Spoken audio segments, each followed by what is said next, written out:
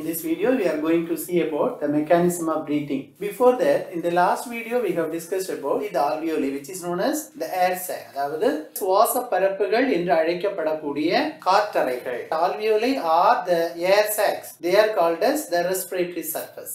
Respiration surface. That is, respiration means oxygen is taken in and carbon dioxide is liberated out. That takes place in the alveoli. That takes place in the air sac. That's why that region is known as respiratory surface. இந்த காற்றறையில இருந்து தான் oxygen carbon di oxide பரிமாற்றம் பெருமளவில் நடக்கிறது. அதனால தான் அதை சுவாச பரப்பு அப்படின்னு சொல்றோம். அப்ப இந்த சுவாச பரப்பு அல்லது இந்த காற்றறை காற்று நுண்ணறை ஆல்வியோலை அதுக்குன்னு சில கேரக்டர்ஸ் இருக்கு. What are the characters let we see one by one first one the surface area should be very large and richly supplied with blood vessels இந்த காற்றறைகள் அதிக பரப்பளவையும் அதிக இரத்த நுண்ணாளங்களையும் பெற்றிருக்க வேண்டும். கீழே ஒரு படம் கொடுத்திருக்கேன் பாருங்க.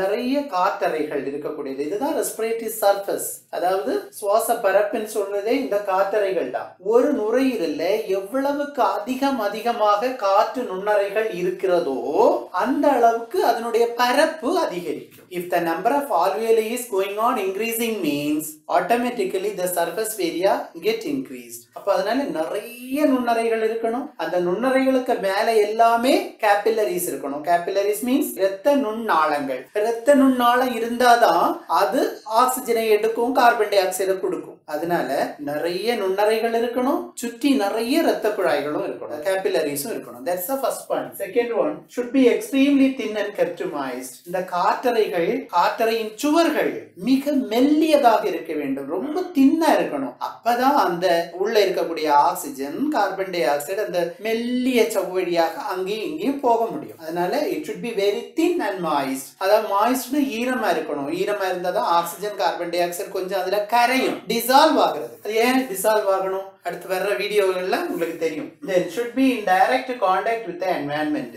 வளிமண்டலத்திற்கும் காற்றறைகளுக்கும் நேரடி தொடர்பு இருக்கணும். இங்கே இருக்குதா? இருக்குது. லங்ஸில் நுரையீரலில் அந்த ஆல்வியோல அல்லது காற்றறைகள் இருக்கு. நேர டைரக்ட் காண்டாக்ட் இருக்கு. நேரடி தொடர்பு இருக்கிறது. Last one should be permeable to respiratory gases respiratory gases அப்படின்னா ஆக்சிஜன் கார்பன் டை ஆக்சைடு ஆக்சிஜனும் கார்பன் டை ஆக்சைடும் இந்த காற்று நுண்ணறைகள் வழி அங்கேயும் இங்கேயும் போறதுக்கு வழி உள்ளதாக இருக்க வேண்டும். பெர்மியபிளா இருக்கணும். இங்க இருந்து அது போகணும். சில அறைகள் எல்லா காற்றையும் இது பெர்மிட் பண்ணுமான்னு கேட்டா இல்ல. ஆக்சிஜன் கார்பன் டை ஆக்சைடை பெர்மிட் பண்ணணும். So it should be permeable to oxygen and carbon dioxide so these are the characters புறச்சூழலோடு நேரடி தொடர்பு கொண்டிருக்க வேண்டும். சுவாசத்தின் போது காற்று எளிதாக ஊடுருவக்கூடியதாக இருக்க வேண்டும். எந்தெந்த காற்றுகள்? ஆக்சிஜனும் carbon dioxide so these are the characteristic features of respiratory surface சுவாச பரப்பினுடைய பண்புகள். அடுத்தது சுவாச நிகழ்வின் படிநிலைகள். த ஸ்டெப்ஸ் இன்வால்வ் இன் இந்த ரெஸ்பிரேஷன் அதை நமக்கு பார்ப்போம். இப்போ நம்ம இதை பாருங்க. நம்ம மூக்கு வழியா தொண்டை வழியா மூச்சுக்குழல் அல்லது டிராக்டியா வழியா லங்ஸ்ல போய் இதுதான் காற்றறை அல்லது ஏர்சாக் அல்லது ஆல்வியோலை இங்க வந்து சேரும் சரியா? இப்போ வளிமண்டலத்துல இருக்கக்கூடிய காற்று நுரையீரலுக்கு வரணும். நுரையீரல் இருக்கக்கூடிய கார்பன் டை ஆக்சைடு அதிகம் அடங்கிய காற்று வெளியே போகணும். அதான் ஃபர்ஸ்ட் பாயிண்ட் பாருங்க exchange of air between the atmosphere and the lungs அட்மாஸ்பியருக்கும் லங்ஸுக்கும் இடையில வாயு பரிமாற்றம் இருக்கணும். அதாவது ஏற்கனவே உடம்புக்குள்ள எடுத்து ஆக்சிஜனை எடுத்து கார்பன் டை ஆக்சைடு நிறைஞ்சிருக்கும் லங்ஸுக்குள்ள அது எப்படி நிறையுதுன்னு சொல்றேன். இந்த கார்பன் டை ஆக்சைடு கலந்த காற்று நுரையீரல்ல இருந்து வெளியே போகணும். வளிமண்டலத்துல அட்மாஸ்பியர்ல இருக்கக்கூடிய ஆக்சிஜன் அதிகம் அடங்கிய காற்று உள்ள வரணும். The first point. Second one the exchange of oxygen and carbon dioxide between and the the நுரையீரல்களுக்கும் ரத்தம் ரத்த குழாய் வருது பாருங்க. அதுக்கும் இடையில ஆக்சிஜன் கார்பன் டை ஆக்சைடு பரிமாற்றம். இந்த ரத்தம் செல்களில் இருந்து வருது. செல்கள்ல இருந்து கார்பன் டை ஆக்சைடு கொண்டு வருது. அப்போ இந்த ரத்தத்துல நிறைய கார்பன் டை ஆக்சைடு இருக்கும். கார்பன் டை ஆக்சைட நுரையீரலுக்கு கொடுக்குது உள்ள கொடுக்குது.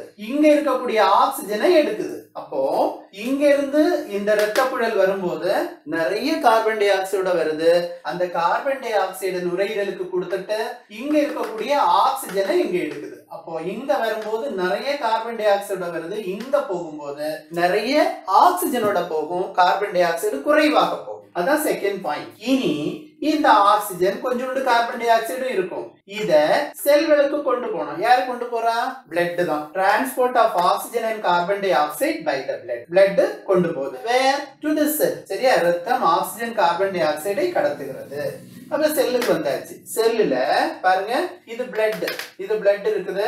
இங்க செல்கள் இருக்கு. செல்லுல ஏற்கனவே போன ஆக்சிஜனை குளுக்கோஸ் குளுக்கோஸ் ஆக்சிஜனுக்கு கூட சேர்ந்து carbon dioxide water energy ATP energy உண்டாயிருக்கும். அப்போ செல்லுக்குள்ள நிறைய கார்பன் டை ஆக்சைடு இருக்கும். அப்ப செல்லுக்குள்ள இருந்து கார்பன் டை ஆக்சைட பிளட்டுக்கு வர்றது பிளட்டுக்கு வரது. கார்பன் டை ஆக்சைடு இங்க வரணும் இங்க இருக்கக்கூடிய ஆக்சிஜன் அங்க எக்ஸ்சேஞ்ச் ஆகணும். அதான் exchange of gases between the blood and the cells அதாவது ரத்தம் மற்றும் செல்களுக்கு இடையே வாயு பரிமாற்றம். அதுக்கு பிறகு இங்க ஆக்சிஜன் கொண்டு போயாச்சு இல்லையா?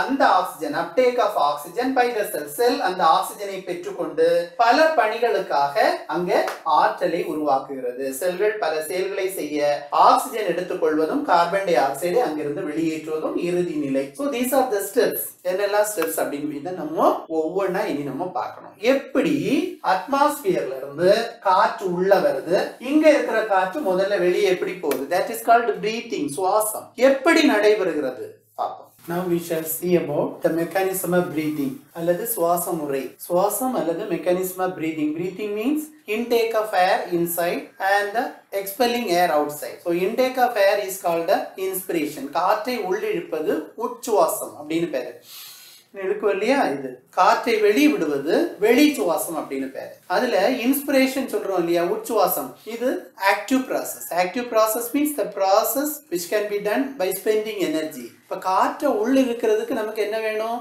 எனர்ஜி வேணும். ஆற்றல் வேணும். ஆனால் உள்ளே வந்த காற்று வெளியே போகிறதுக்கு நமக்கு எனர்ஜி தேவையில்லை. So it's a passive process மந்தமான நிகழ்ச்சி அப்படின்னு சொல்லலாம். ஓகே இப்போ இது எப்படி நடக்குதுன்னு பார்க்கறதுக்கு முன்னாடி நமக்கு லங்ஸ் இருக்கக்கூடிய அந்த compartment thoracic cavity மார்பறை. So that is airtight compartment காற்று புகை இயலாத ஒரு அறையாக்கும் இந்த மார்பறை. அதுக்குள்ளதான் லங்ஸ் பத்திரமா இருக்கு. எப்படி? அதுக்கு நாலு பக்கம் எப்படி என்ன இருக்கு அப்படிங்கிறத நான் முன்னே வீடியோலையும் சொல்லியிருந்தேன் ஞாபகப்படுத்துறேன். பாருங்க. இந்த ஃப்ரண்ட்ல நமக்கு என்ன இருக்கு அப்படின்னா ஸ்டர்னம் அல்லது மார்பெலும்பு நடுவுல இருக்குது. பேக்ல பாத்தீங்கன்னா வெத்திபிரல் காலம் அல்லது பேக் போன் அல்லது முதுகெலும்பு தொடர் இருக்குது. சைடுல இந்த ஸ்டர்னத்துக்கும் இதுக்கும் இடையில என்ன இருக்குன்னா நமக்கு விலா எலும்புகள் பன்னெண்டு விலா எலும்புகள் டுவெல் பேர்ஸ் இருக்கு பன்னெண்டு ஜோடி விலா எலும்புகள் இருக்கு. அது இஸ் கால்ட் ரிப்ஸ் இந்த விலா எலும்புகளுக்கு இடையில மசில்ஸ் இருக்கு தசை இருக்கு. அதுக்கு பேரு விலா இடை தசை இன்டர் கோஸ்டல் மசில்ஸ் அப்படி பேரு. இன்டர் கோஸ்டல் மசில்ஸ் ரெண்டு டைப் இருக்கு பாருங்க. ஒன்னு இன்டர்னல் இன்டர்கோஸ்டல் மசில் அதாவது உள் விழா இடை தசை இன்னொன்னு எக்ஸ்டர்னல் இன்டர்கோஸ்டல் மசில் அல்லது வெளி விலா இடை தசை இந்த தொராசிக் கேவிட்டி மார்பறைக்கு அடியில இருக்கக்கூடிய தடித்த அந்த தசைக்கு பேரு டயஃப்ரம் அப்போ இந்த தொராசிக் கம்பார்ட்மெண்ட்ல நாலு பக்கம் என்ன இருக்கு அப்படிங்கறது பார்த்துட்டோம். ஏர் உள்ள போக முடியாத அளவுக்கு ஏர் டைட் கம்பார்ட்மெண்ட் அப்படின்னு பார்த்தாச்சு. ஓகே இதுக்குள்ளதான் நமக்கு லங்ஸ் இருக்கு. இந்த ஏர் டைட் கம்பார்ட்மெண்ட் அட்மாஸ்பியர்ல இருந்து ஏர் உள்ள போகணும் உள்ள இருந்து வெளியே வருது. அது எப்படி அந்த மெக்கானிசம் நடக்குது அப்படின்னு பாக்குறதுக்கு இதை ரெகுலேட் பண்றது நம்ம பாடியில எந்த ஆக்டிவிட்டியா இருந்தாலும் ரெகுலேட் பண்றது யாருன்னா பிரெயின் தான் நர்வஸ் சிஸ்டம் இல்லையா?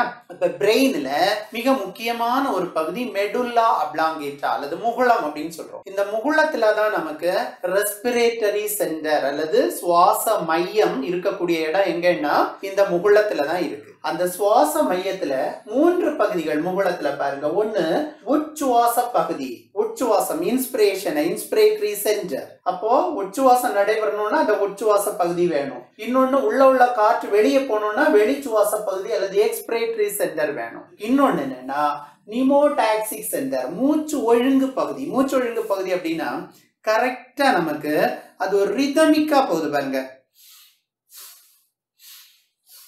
நம்மளை தெரியாமலே அது கரெக்டான இன்டர்வெல் விட்டு அதாவது ஒரு நிமிஷத்துல நம்ம ஏதேசம் டுவெல் டு சிக்ஸ்டீன் டைம்ஸ் நல்லா ஹெல்த்தியா இருக்கிறவங்க இல்லையா?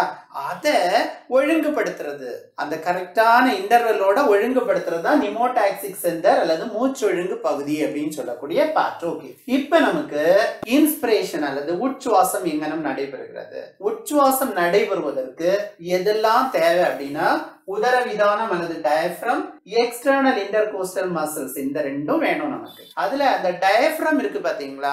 டயஃப்ரம் எல்லாம் சுருங்கணும் விரியணும். அதுக்கு டயஃப்ரம்ல வரக்கூடிய ஒரு நரம்புக்கு பேரு ஃபெரனிக் நர்வ் அப்படின்னு பேரு. ஃபெரனிக் நரம்பு. அப்போ மூளையிலிருந்து இன்ஸ்பிரேட்டரி சென்டர் அல்லது உச்சுவாசத்திலிருந்து சிக்னல்ஸ் வரணும் உனக்கு. என்னது? இன்ஸ்பிரேஷன் ஸ்டார்ட் பண்ணலாம். அப்படின்னதும் உடனே என்ன நடக்கும் பாருங்க? உதரவிதானம் சுருங்குகிறது. அதே மாதிரி இன்ஸ்பிரேஷன்னா எக்ஸ்டர்னல் இன் எக்ஸ் அதை எடுக்கணும். சரியா மாத்தி. இன்ஸ்பிரேஷனுக்கு எக்ஸ்டர்னல் இன்டர்கோஸ்டல் மசில்ஸ் அதாவது வெளி விழா இடை தசைகளும் சுருங்குகிறது. அப்போ during inspiration two muscles get contract ரெண்டு தசைகள் சுருங்குகிறது. ஒன்று உதரவிதானம் மற்றொன்று வெளி விழா இடை தசைகள். Diaphragm and external intercostal muscles get contract இப்படி இழுக்கிறோம். கான்ட்ராக்ட் ஆகும்போது அந்த தொராசி கேவிட்டி உள்ளே இருக்கக்கூடிய நம்ம இழுத்து பாருங்களா அப்ப மார்பரை பெருகுதா சின்னதாகுதான்னு கேட்டா விரிஞ்சு கொடுக்குது. அப்படிதானே? அப்ப இந்த ரெண்டு மசிலும் கான்ட்ராக்ட் ஆகும்போது சுருங்கும் போது இந்த தொராசிக் கேவிட்டி மார்பரை அளவில் பெரிதாகிறது.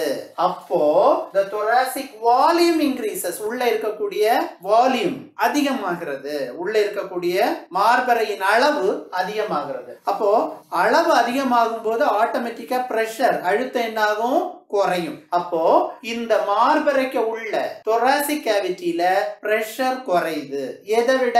அட்மாஸ்பரிக் ஏற விட. வளிமண்டல காற்றழுத்தத்தை விட உள்ள காற்றழுத்தம் குறைவு. எனவே உங்களுக்கு தெரியும் காற்றழுத்தம் அதிகமான இடத்துல இருந்து காற்றழுத்தம் குறைந்த பகுதிக்கு அந்த அழுத்தத்தை சரி செய்ய காற்று போகும்னு தெரியும். அப்ப உள்ள அழுத்தம் குறைவு வெளியே அழுத்தம் அதிகம். அதனால to maintain the air pressure concentration the air rushes in through the nostrils அந்த மூக்கு வழியா நமக்கு காற்று வெளியில இருந்து உள்ள போகும். எதுக்கு? அழுத்தத்தை சரி செய்வதற்கு. நமக்கு அதானே வேணும்? காற்று உள்ள போகணும். அப்ப காற்று உள்ள வந்தாச்சு. தட் இஸ் கால்டு இன்ஸ்பிரேஷன் அப்ப ஒன்ஸ் அகெயின் இன்ஸ்பிரேஷன்ல ரெண்டு மசில் கான்ட்ராக்ட் ஆகுது. Diaphragm and external intercostal muscle உதரவிதானம் மற்றும் வெளி விழாயிடை தசைகள் சுருங்குகின்றன. மார்பறையின் அளவு அதிகரிக்கிறது. எனவே அழுத்தம் குறைகிறது. அழுத்தத்தை ஈடு செய்ய வளிமண்டல காற்று உள்ளே வருகிறது. முடிஞ்சு போச்சு. எக்ஸ்பிரேஷன் வெளிச்சுவாசம். வெளிச்சுவாசம் பேசிவ் பேசிவா நடக்கணும். இயல்பா நடக்க ஒரு நிகழ்வு. எவ்வளவு நாளும் இழுத்துக்கிட்டு நம்ம வச்சுட்டு இருக்க முடியாது வெளியே விட்டு தான் ஆகணும். இல்லையா? அப்போ என்ன பாருங்க? முதல்ல during inspiration the diaphragm get contract contract ஆகும்போது இப்படி பண்ணும். இந்த மாதிரி கான்கேவா மாறும். இப்போ the diaphragm attains its original position dome ஷேப்பா நேரத்தை இருந்த அளவுக்கு வருது. அது படத்தை பார்த்தா உங்களுக்கு தெரியும். சரியா? அப்போ அந்த உதரவிதானம் பழைய நிலையை அடைகிறது. அதே மாதிரி எக்ஸ்டர்னல் இன்டர்கோஸ்டல் மசில் கான்ட்ராக்ட் சுருங்கி இருந்தது இல்லையா? அதுவும் ரிலாக்ஸ் ஆகும். இப்போ புதுசா சுருங்குறது யாருன்னு கேட்டா இன்டர்னல் இன்டர்கோஸ்டல் மசில் சுருங்குகிறது. சுருங்கும் போது என்னன்னா மார்பறையின் அளவு குறைகிறது. இங்க the thoracic volume இங்க தொராசிக் வால்யூம் கேட் டிக்ரீசஸ் குறைகிறது. இங்க பாருங்க உள்ள அளவு குறையும் போது அழுத்தம் காற்றுக்கு அழுத்தம் உள்ள அதிகமா இருக்கு the pressure inside the thoracic cavity get increases அப்போ உள்ள வளிமண்டல காற்றை விட காற்றழுத்தம் மார்பறைக்குள்ள அதிகம். அதனால உள்ளே இருக்கக்கூடிய காற்று மூச்சு அந்த நாஸ்டல்ஸ் வழியா நமக்கு வெளியேற்றப்படுகிறது. இவ்வாறு உள்ளே இருக்கக்கூடிய காற்று வெளியேற்றப்படுகிறது. இங்க இங்க பாத்தீங்கன்னா அதாவது உதரவிதானம் பழைய நிலையை அடைகிறது உள்விழா இடைத்தசைகள் சுருங்குகிறது மார்பறையின் கொள்ளளவு குறைகிறது அழுத்தம் அதிகரிக்கிறது. எதை விட வளிமண்டலத்தை விட. எனவே உள்ளிருக்கக்கூடிய வாயுவானது மூக்கு வழியா வெளியே போயிடுது. மூக்கோ அல்லது வாய் எதை எதை திறந்து வச்சிருக்கோ அது வழியா வெளியே போயிடும். இதான் எக்ஸ்பிரேஷன் அப்படிங்கிறது. இப்போ ஹெல்த்தியா இருக்கக்கூடிய ஒரு ஒரு ஆளுக்கு ஒரு நிமிஷத்துல டுவெல் டு சிக்ஸ்டீன் டைம்ஸ் பன்னெண்டு முதல் பதினாறு டைம்ல நம்ம சுவாசிப்போம். சரியா?